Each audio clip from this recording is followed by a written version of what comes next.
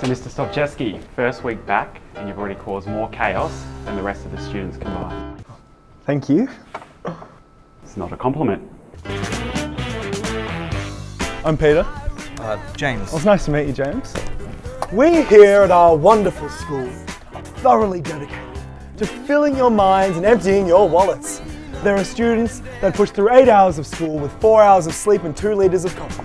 Except Bruce, he only drinks energy drinks. There are certain things in this life that are universal. Sausage sizzles, $2.50. Casual clothes day, gold coin donation, Zooper Doopers, $1. You ever been made fun of, laughed at, called names, belittled?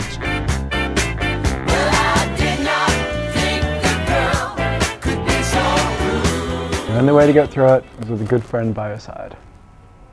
Well, cheers to friendship then. Cheers to friendship. I never